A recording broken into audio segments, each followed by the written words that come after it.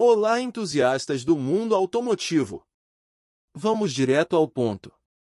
Hoje, vou revelar as 10 estratégias enganosas frequentemente utilizadas pelas montadoras para cativar os consumidores.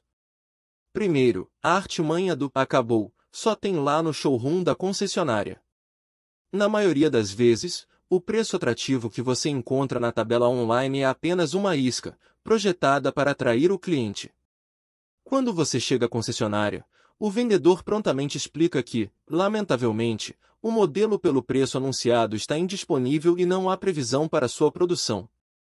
A segunda tática é a falsa promessa de economia de combustível.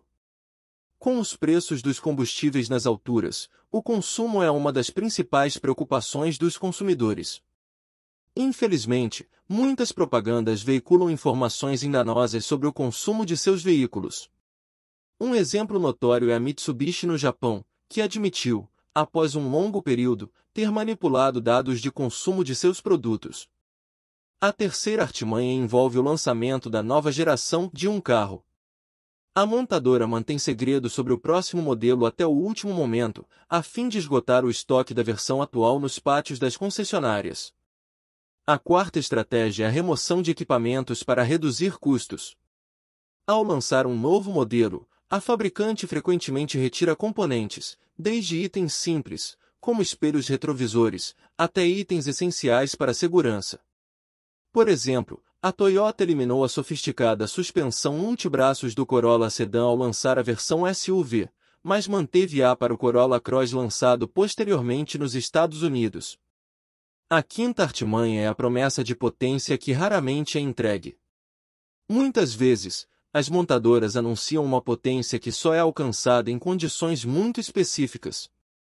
Por exemplo, a Volkswagen prometeu 192 cavalos no Golf GTI, mas esses números só eram alcançados com o uso de gasolina de alta octanagem, que nem sempre está disponível. Da mesma forma, o Hyundai Veloster anunciou 140 cavalos, mas a versão importada para o Brasil tinha um motor diferente com apenas 128 cavalos. A sexta estratégia é a negação do fim de linha.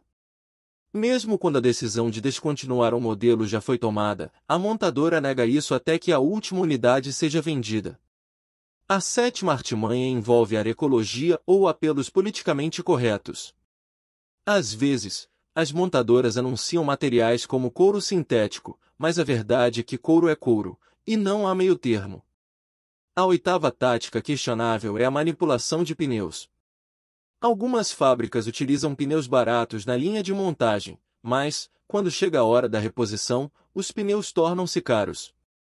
Além disso, às vezes, um pneu de marca diferente é colocado como step, mesmo que a própria fábrica recomende não usar marcas diferentes no mesmo eixo.